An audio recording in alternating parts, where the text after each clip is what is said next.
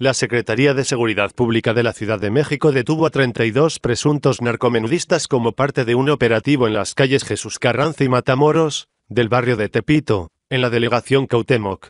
Del total de detenidos, 16 tienen antecedentes penales y, entre ellos, hubo un menor de edad, según informó el jefe de gobierno capitalino, Miguel Ángel Mancera, en conferencia de prensa. Tras el operativo, también fueron aseguradas 22 bolsas de plástico con 65 kilos de marihuana y dos motocicletas. Mancera explicó que algunos de los presuntos narcomenudistas han sido detenidos anteriormente, por ejemplo, uno de ellos fue detenido en tres ocasiones por delitos contra la salud. Corrupción de menores, robo agravado, violencia familiar, delitos contra la salud, robo a negocio, ahí están viendo ustedes los antecedentes que tenían, explicó el mandatario capitalino.